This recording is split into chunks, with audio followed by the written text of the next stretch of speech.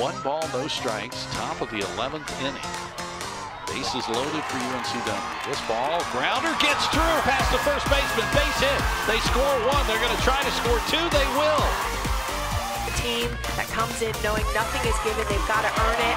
Anyone can be the hero. There's a base hit from Meadows. They'll score one run. They had to hold the runner at second for a second, and the Seahawks are now up three to nothing. Slapper, second baseman.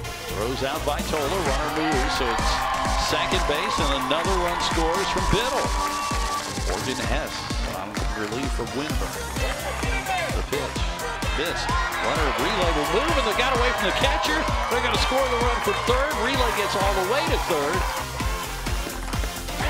Swing and a miss. She struck her out. UNCW is moving to the championship game tomorrow as they beat Delaware by a score of five to nothing.